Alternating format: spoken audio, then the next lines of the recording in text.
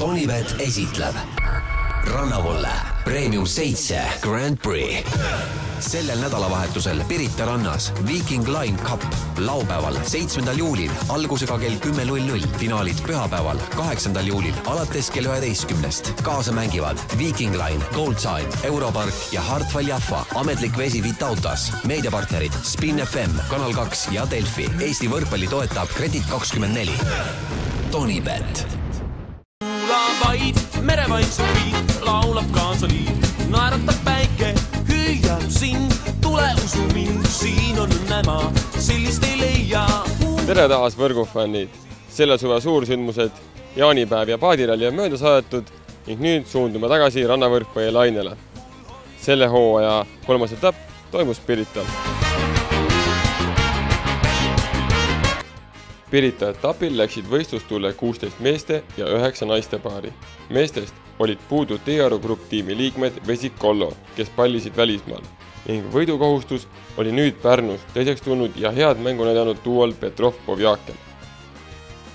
meeste turniiril pääsesid otse poolfinaali ilma ühegi kaotuseta Krahh Pipes tiimi liikmed Kai Sarak, kes kolmandas ringis võitsid Raud Jaanit tulemusega kaks-üks. teisena jõudsid otse poolfinaali Sadam Tamme. Teise päeva jõudsid ka Raud Jaani ja suursoosikud Petrov Povjakel, kes pidid pisut üllatuslikult teises ringis alla vanduma Neuhaus Roosmäele. esimesest päevast said edasi ka Piik Kuller, kes olid teises veerandfinaalis vastamisi varem mainitud Neuhaus Roosmäega.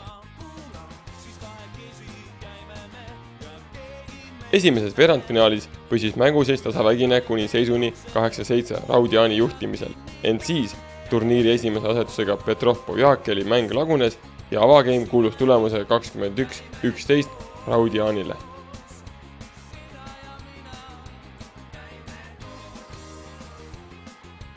nagu ka esimeses skeemis, nõnda ka teises ei saanud Petrov Povjakel mängu käima ning alistusid tartlastele kindlalt kakskümmend üks, neliteist ja sellega oli nende koduväljakul peetud Pirita etapp lõppenud.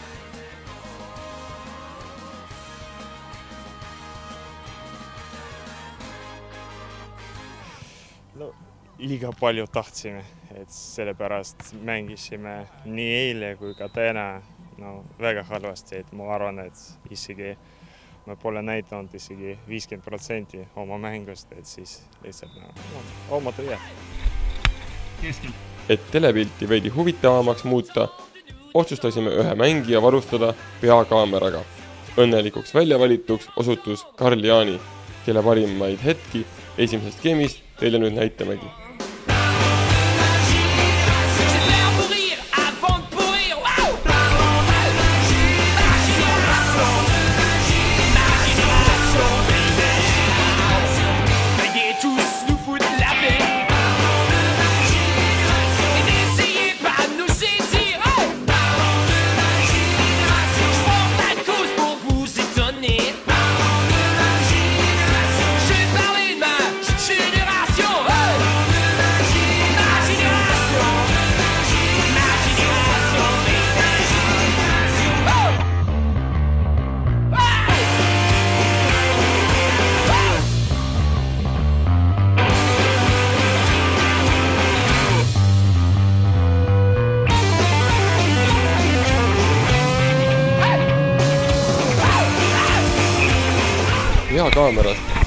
vaimustusse ka üks Puki kohtunikest, kellele me siis teises skeemis kaamera loovutasimegi, et näha, kuidas näeb välja võrkpallilahing läbi kohtuniku silmade.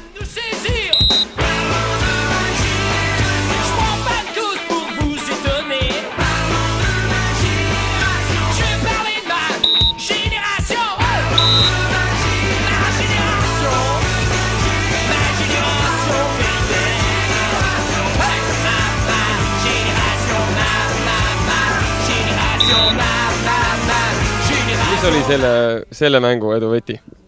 ma arvan, et selle mängu edu võti oli meie eilne viimane kaotus, mis oli minu arvates väga hea mäng, ma jäin sellega rahule ja ma arvan, et sealt me leidsime enesekindluse, millega me täna lõime. sinule, Jaani, pandi kaamera pähe, kuidas oli kaameraga mängida?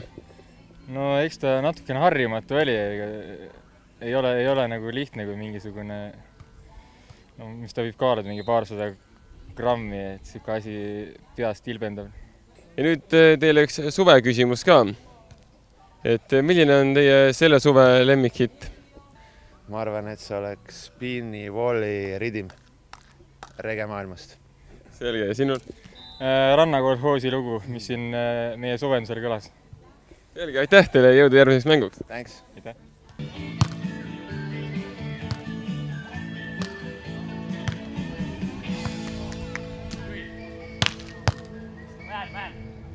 Viking Cupi meesteturniiril algas teine veerandfinaal. Piet Kuller, Roosmäe Neuhaus, peale seda mängu siis esimene.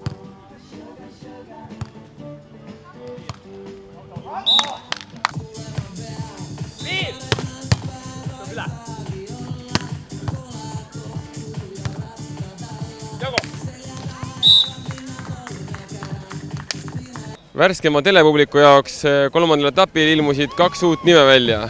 kus olete olnud ja lõite eelmisel päeval eh, suursoosikuid?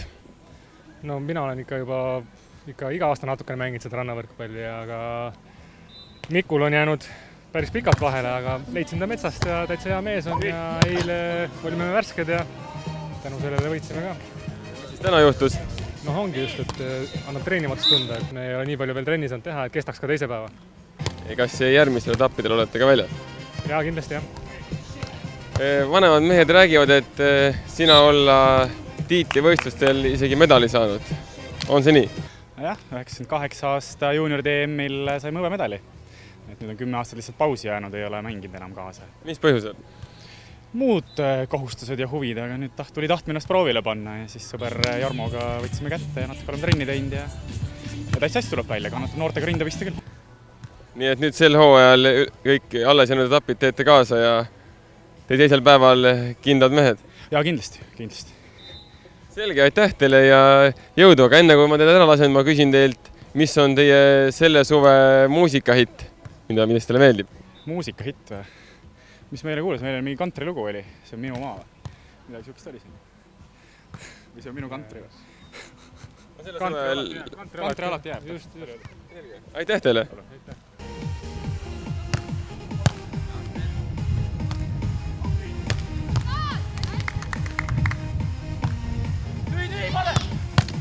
Esimeses skeemis juhtisite algusest peale paari punkti eduga ja võtsite geimi võidu. kuidas skeem meile tuli? no raskelt ikka, et seal midagi kerget ei olnud, et minul oli ikka väga raske, Urmas oli vist super täna, et tema, tema tegi põhitöö ära. ma lihtsalt oksusin kaasa seal vaikselt. Nägin, et, et nüüd sellel mängul oli teil rohkem toetajaid, miks nii? jah, elukaaslased kaasas sinna, sõbrad ka, et, et teistel jäid vist koju, tundub, et oli tõesti rohkem poolehoidjaid nüüd lähme selle teise skeemi juurde tagasi. teise skeemi lõpus tundus, et nad võtavad jalad kõhu alt välja ja võivad isegi võita teid. kuidas oli? jah, eks nad hakkasid järjest paremini mängima, et esimene game nad ei saanud kuidagi nagu käima, et teises natuke ise andsime, läksime ilmaasjata närvi ja, ja nii, nii ta tuli. Vaatasin teise, teise game'i lõpus läksid natuke tujust ära, et kuidas, mille, millest tingib? selle ühe vilega ma ei ole endiselt nõus, et see, seal ei olnud nagu midagi rannavõrkpalli reeglite vastast, aga kohtunik nägi teisiti, et mis on teie selle suve muusikahitt, lemmik? oi, ma ei teagi, ma arvan midagi Ivo Linnalt järsku. ma mõtlesin ka mingit Eesti Laulu, aga nime ei tule praegu ühtegi head. aitäh ja edu teile poolfinaali! aitäh! aitäh!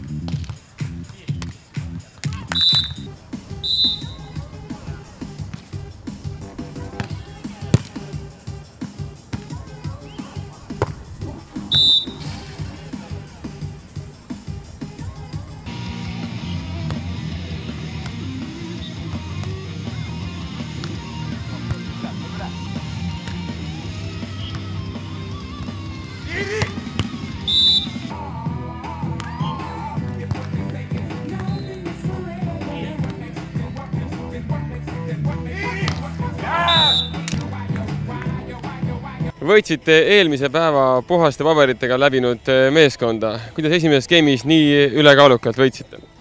no ma arvan, et meil olid päris, päris head, head mängud juba all ja oleme siin paari viimase mänguga päris hea rütmi leidnud ja, ja ei eksinud lihtsalt ja vastane tundub, et läks nüüd selle peale närvi. kas teine game siis eh, väsisite ära või nemad eh, said mängu üles? no pigem nad jah, hakkasid ise nagu paremini, paremini rünnakut realiseerima ja, ja ei eksinud lihtsalt. kas selle võidulaine pealt täna tuleb esikoht ära? seda on raske öelda, noh. võib-olla meil on nagu emotsioon on seda eespool kui tulemus, noh, et, et peaasi, et tuleks emotsioon ja see tulemus oleks boonus. saalis on kõikidel mängijatel ühtne mänguvorm võrreldes liberal, aga miks teil ei ole? Kuidas üldse on vähestel mängijatel? tundub, et siin reglement ei nõuagi seda hetkel, et kui võimalus väheke edevamate pükstega mängida, siis miks mitte kas on ka teil mingeid riidesponsoreid? riidesponsoreid ei ole, noh. mul on lihtsalt niisugune usk, et mul on usku nendesse pükstesse. esimest korda proovin nende pükstega, et saab näha. palju jälgite samal ajal toimuvat naisteturniiri? Päris ausalt öeldes ei ole jälginud. aga tulemusi ikka tean, noh, kes ikka kõvemad paarid on. kes on teie lemmikud naiste mängijatest? oi, see on küll hea küsimus uh ma arvan, et ma seekord hoian ise pöialt Triin Kuuselane. mina samuti, ikka peab kohalikele Tartu mängijatele pöialt hoidma. aitäh teile ja edu finaaliks! suur tänu!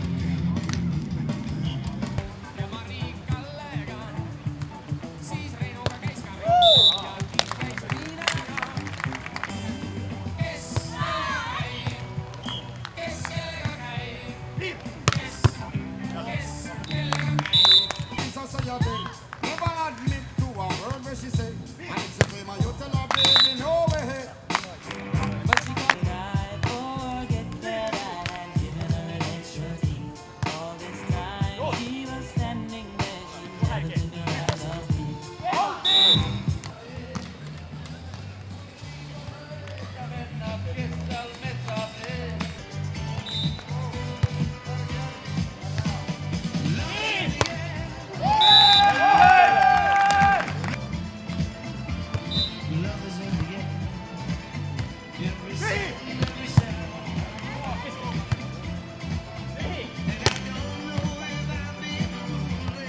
kord Araku tõsted nagu Tallinna börsiindeks buumi ajal. nagu mäletame, midagi head see ei toonud ja sama kehtib ka palliplatsil. tulemusega kakskümmend üks, kaheksateist ning geimidega kaks-null võitlesid end finaali Priit Kulver.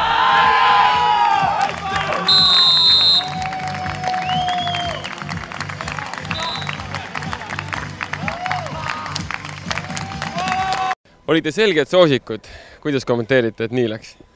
No ega siin midagi kommenteerida polegi, et vastane üllatas hea mänguga ja ja ise kõige paremini mänginud ja, ja seekord siis tuli selline kaotus.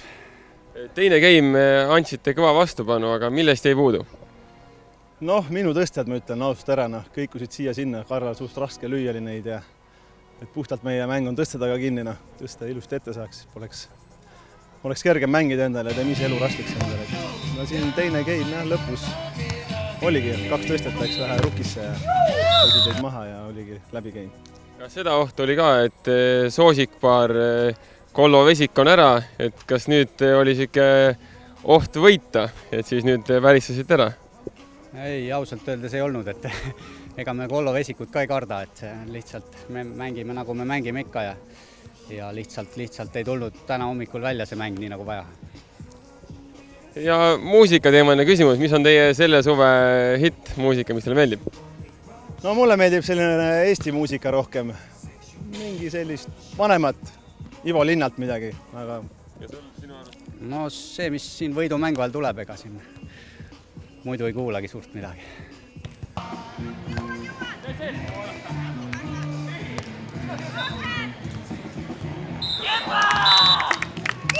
Esimene game saime kohe väga hästi saime minema ja vastane, vastasel oli vist esimene mäng täna, et et neil, nad olid väheke nagu roostes tundus, et me saime kohe minema, saime sealt päris suure viie-kuuepunktilise edu sisse ja jah, seda oli, seda oli neil nagu raske tagasi teha, et meie nagu hoidsime lõpuni ja tuligi ära seal.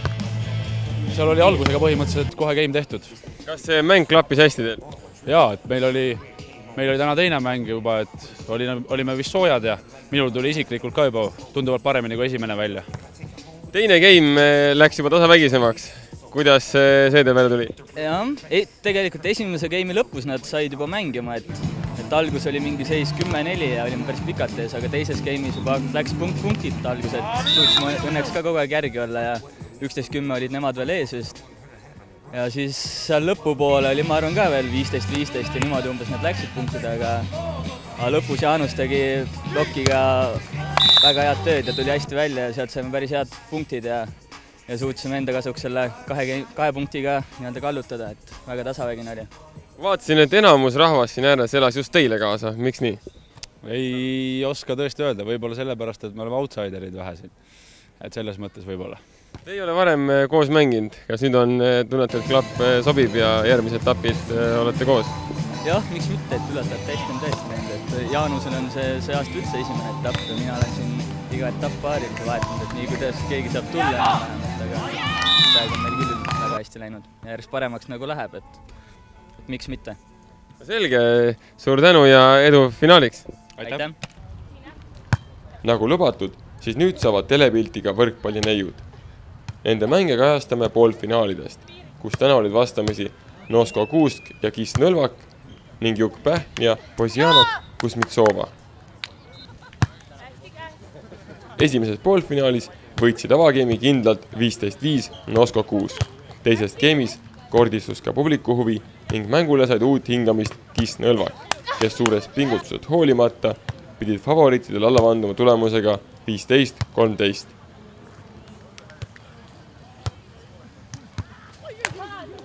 Esimene game viisteist viis, kuidas nii kindlalt? algul mängisime hästi. ma ei tea, Kristi ja Kairi vist ei saanud oma mängu mängida, nii nagu nad tahtsid, aga teises game'is oli näha, et aga teine game väga, väga napilt. kas ise läksite, lasite jala sirgu või, või vastased võtsid ennast tugevalt kokku? ma pigem arvan, et me lasime enna, endal jala sirgu, kuna see esimene tuli nii kergelt ära, et mõtlesime, et noh, mis seal ikka teeb, samamoodi teine ka. Aga nad said oma mängu käima ja me olime natukene uinunud, siis ei tulnud enam eriti nii hästi. kas see näitab, et vastastele elati rohkem kaasa seda, et teie olete soosikud? no pigem oli see, et vastased on kodu, kodupubliku ees, siis olid Medissid õed-vennad, klassiõed, klassivennad, kõik olid kohal. mis on teie selle suve lemmikmuusikahitt? minul on vist Reini see, issand, mis ta ongi nüüd? Võid laulda? ärme nii koledaks nüüd kokku kätte lähe. mis ta ongi nüüd uh,? no Treini lugu. ei, ma ei oska niimoodi öelda. ei ütleks, et Nossa on, onju, see on nagu päris jube, aga mina leidsin enda jaoks niisugust lugu nagu Pump it up kids, et see on nagu tõesti hea lugu. kui palju elate kaasa või jälgite meestemänge ja kes on teie siin turniiril osalevatest meestest lemmikud? No mul on ikka need kodupoisid Rain Raud ja ja Jaani, et nemad on praegu finaali puhul on ikkagi nemad minul need, kellele ma poia, pöialt hoian. ilusa mängu poolt olen mina, ei ole kellegi poolt. selge, aitäh teile ja edu finaaliks! aitäh! aitäh!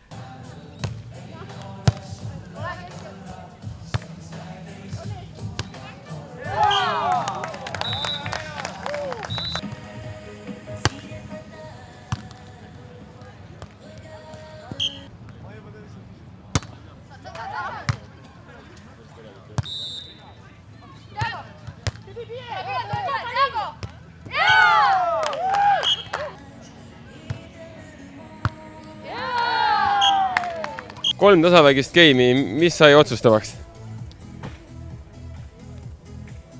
meie paremus. mille poolest te olete paremad kui vastased? no ma arvan, et äh, teises game'is me lisasime servile natuke juurde. aga esimeses game'is, mis, mis puudu jäi? no igast asjast natukene. võrk oli kõrgem. võib-olla kohani teised mängud me mängisime sellel teisel väljakul, et see esimene väljak on natukene teistsugusem liiva ja olude osas. mis on teie selle suve lemmikmuusikahitt? Ragamasta. ei oska öelda. no mõni lugu, mis väga meeldib. jääb vahest pähe ümisema. Nossa. selge, suur aitäh teile ja edu finaaliks! aitäh, aitäh.!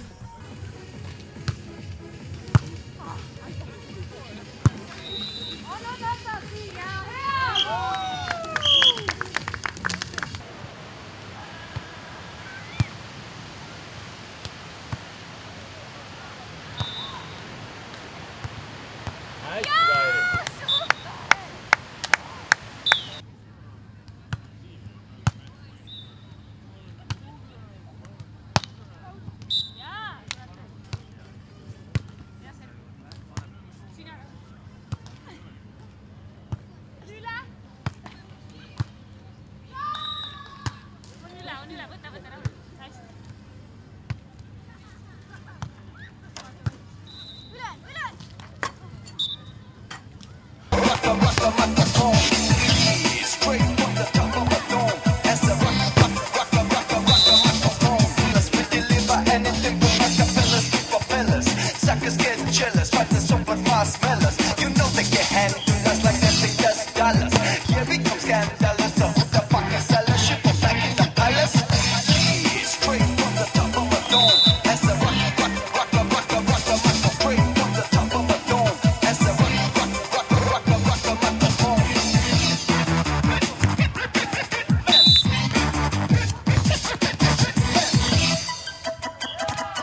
style.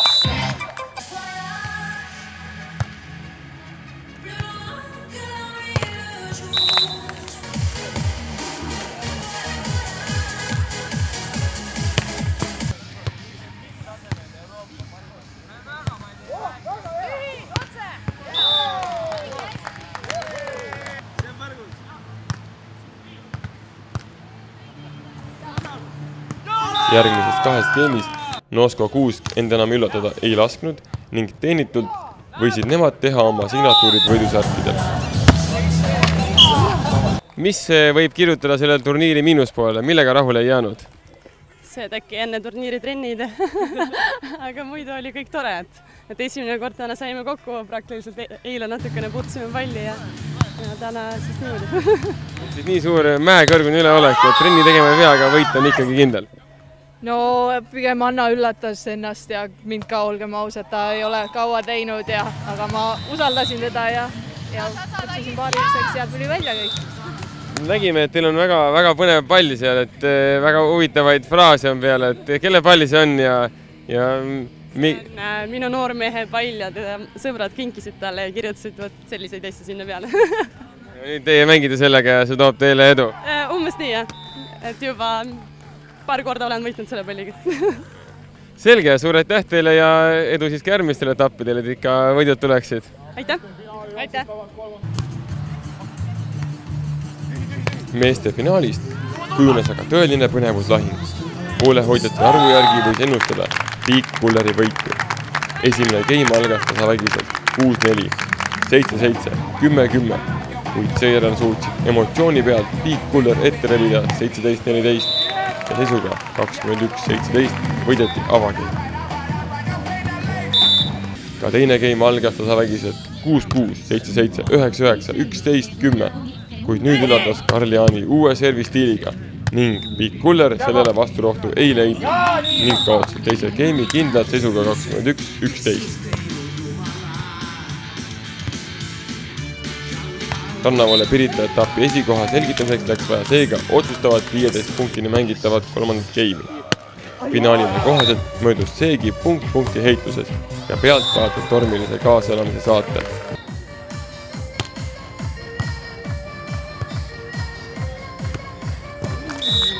võitjatena väljusid sellest põnevuslahingust siiski külalised ülikooli linnast.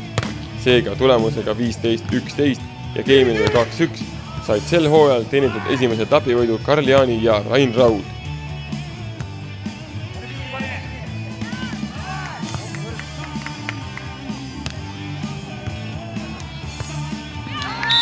kõigepealt palju õnne selle võidu puhul, sel hooajal esimene, loodame teie viimaseks.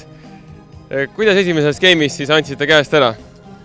Äh, krampi läksin, ma ise tundsin, et läksin krampi ja enesekindlus kadus ära ja rohkem polegi vaja. Teises game'is seisuni kümme-kümme oli päris tasavägine ja peale seda, mis juhtus? siis algas minu serviseeria. leidsin mingi huvitava, huvitava servi, mis, mis tundus vastasele ebamugav ja sealt, sealt tuli päris pikk vahe sisse kohe.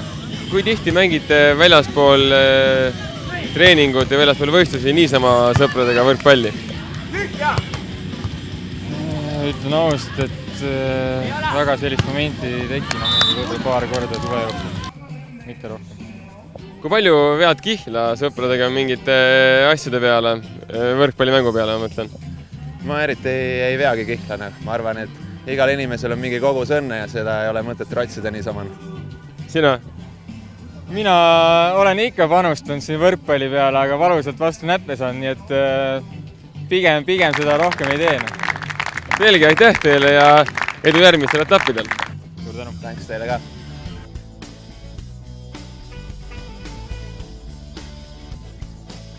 Sama pingeliseks kui Pirita etapi finaalkohtumine kujunes ka meie eelmise korra SMS-mäng, mille õigeks vastuseks oli, et Pärnu sõpruslinnaks Venemaal on loomulikult Sotši. võitjad on siin. palju õnne! nüüd aga lähme selle nädala küsimuse juurde ja selle nädala vaatajamängu küsimus on selline, millal toimus viimati Pirita rannas rannavolle premium seitse sarja etapp ja et asi oleks lihtsam, siis anname ka kaks varianti. Kas kaks tuhat neli on variant üks või kaks tuhat üheksa, variant kaks. eelmisel etapil üllatas Pärnu meid pöörase ilmaga. sel põhjusel varustasin sel korral vihmavarjuga. näib, et Tallinn on aga õige suve pealinn, sest vihmavarjust sai väikese vari. ühe näite põhjal ei maksa üldistusi teha ning seetõttu annamegi Pärnule uue võimaluse juba sel pühapäeval. kohtumiseni! vihmast vikerkaarest laulan soojust, värve, rõõmu, vabadust, soojust, värve, rõõmu, vabadust, soojust, värve, rõõmu, vabadust, soojust. Tonibet esitleb Rannavolle Premium seitse Grand Prix sellel nädalavahetusel Pärnu rannas Viking Line Cup laupäeval, neljateistkümnendal juulil algusega kell kümme null null. finaalid pühapäeval, viieteistkümnendal juulil alates kell üheteistkümnest. kaasa mängivad Viking Line, Goldsign, Europark ja Hartwall Jaffa. ametlik vesi Vitautas. meediapartnerid Spin FM, Kanal kaks ja Delfi. Eesti võrkpalli toetab Kredit kakskümmend neli. Tonibet